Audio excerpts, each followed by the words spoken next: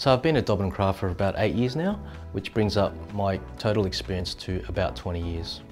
My colleagues probably would describe me as helpful. Um, you know, they, they know that if they come to me, I'll do my best to help them out.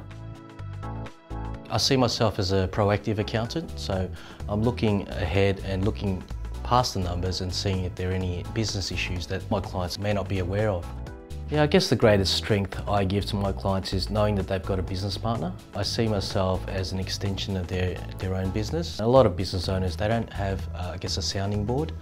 And that's what I provide to my clients is that they can call me anytime just to have that chat with them and uh, give them a bit of certainty. I like my clients to think of me as a problem solver and that I come to Paul, he'll sort it out.